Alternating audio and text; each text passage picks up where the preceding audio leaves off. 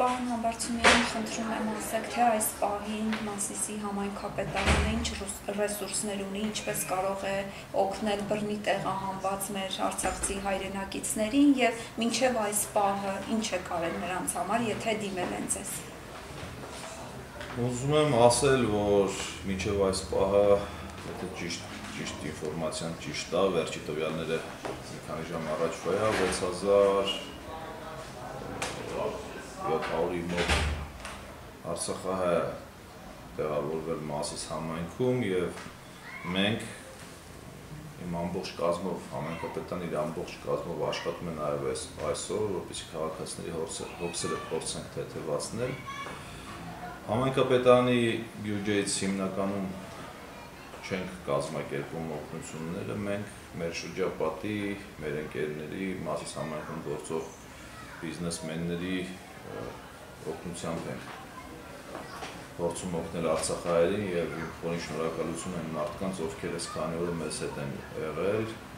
բիզնեսի ներկայացուցիչ ներկայացուցիչների նույնպես, որտեղ մարդիկ սրտացավոր են, հոգատար վերաբերմունք են ցույց տալիս մեր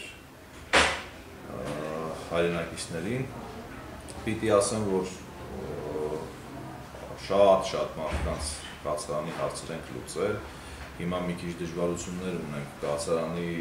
հարցեր լուծելու, որովհետև Մասիս համայնքում գրեթե ռեսուրս չի մնացել ինչքան փակ դուր, ինչքան վարձով տներ, ինչքան համայնքային կառույցներ կա, որտեղ հնարավոր է եղել, որ քաղաքացիներին տեղավորել արել են արդեն։ Բայց այս պահին էլ փորձում ենք փորձում ենք օգնել, փորձում ենք ինչ որ հնար գտնել, մարդկանց տեղավորել, նաև փորձել ենք որոշակի որոշակի հարցեր լուծել նաև այլ մարզերում, ուղարկել ենք Ալավերդի, ուղարկել ենք Թալին, ուղարկել ենք Անի շրջան, որտեղ որ մեր քաղաքացիները ուզել են լորի գիրովական համաձայնվել են ուղարկել ենք, ովքեր որ այստեղ են փորձում ենք էլի հնարավորության սահմանում աջակցել, փորձում ենք տեղ գտնել մարդկանց տեղավորել։ Ամեն դեպքում մենք հանգիստ չենք եթե մարդիկ մեքենաների մեջ են գիշերում, դրա համար ամեն ինչ անելու ենք ու փորձում ենք անել։ Ուղղակի ելի եմ ասում, ռեսուրսը մեր համայնքում սպառվել է։ Եսը։ Պարոն Համբարձումյան, նաև վերջին, այսպես ասած, հանգրվանն են գտնում արցախցիները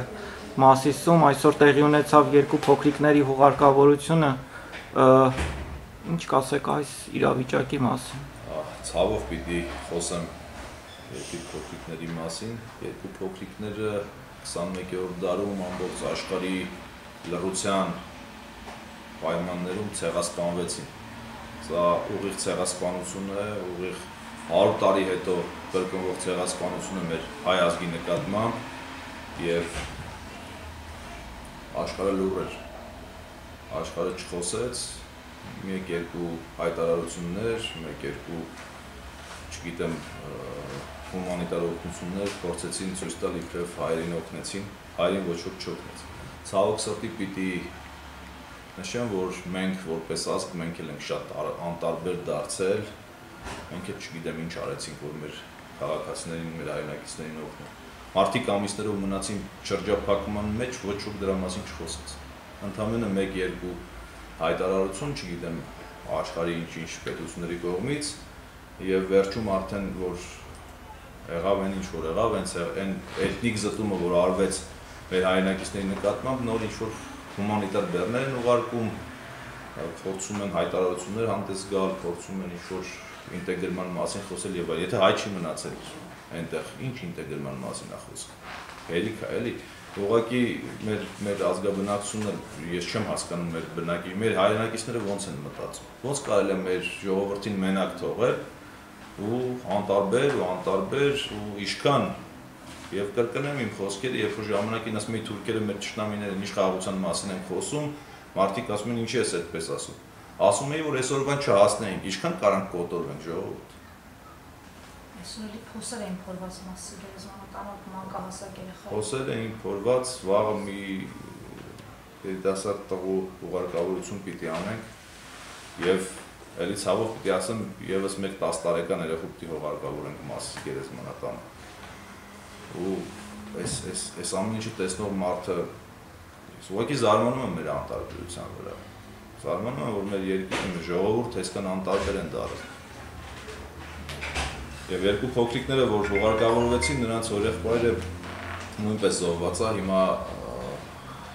պիտի հուղարկավորություն անենք։ Ու այսպես շարունակ։ Ու այսպես հազարավոր քաղաքացիների զոհերի մասին ենք խոսում, որ ցեղասպանվեցին 21-րդ դարում։ Ուղիղ հայ ժողովուրդը Արցախում ենթարկվեցին էթնիկ զտման, այս ամբողջ։ Պարոն Ամբարձումյան, մենք տեսնում ենք, որ քաղաքապետարանում Գերուզեր է, հա, ինչի առաջնահերթ կարիք ունի համայնքը այս պահին արցախցիներին օգնելու համար։ Կառավարությունից ինչ են ասել։ Կացարանի կառավարությունից դե մեզ մարզպետարանից տեղեկացրել են, որ նաև սննդային օգնություն են տրամադրում, նաև ասել են, որ պիտի սպասենք կառավարությունը ինչ որոշում որ կայացնի ամբողջ Արցախայության համար, նաև նույնը կարվի այն մեր հայնակիցների համար, ովքեր որ տեղակայված են Մասիս քաղաքում։ Այսքանը կարող եմ ասել։ Դե ինչա ծրագրվում մեր հայնակիցների համար, դեռ ես չեմ կարող ասել։ Հայրենակիցները, որոնք բռնի տեղահանվում են Արցախից, ունեն հոգեբանական լուրջ խնդիրներ։ Արդյոք տեղում կարողանում եք կազմակերպել եւ հոգեբան տրամադրեք, այսինքն աջակցեք նրանց։ Տեսեք, մինչ այս պահը հոգեբանի կարիք չենք ունեցել, բայց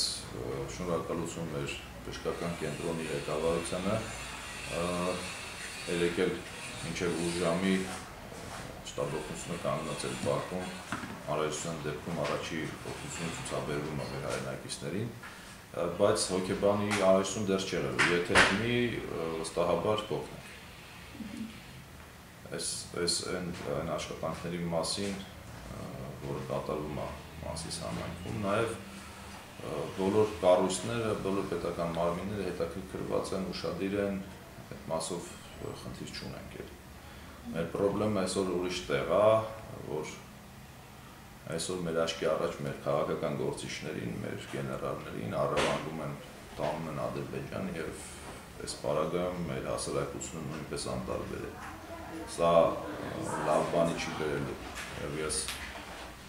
կարծում եմ, որ պիտի հասարակությունը դրա մասին մտածի, պիտի մեր հայրենակիցները հասկանան, որ ինչքան կարան մեր քաղաքական գործիչներին, գեներալներին առևանգեն տանեն Ադրբեջան ու հետևանքները։ Ցավում եմ, որ այս վիճակն է, բայց որպես ազգ մենք պիտի մտածենք մեր հետագա անելիքների մասին։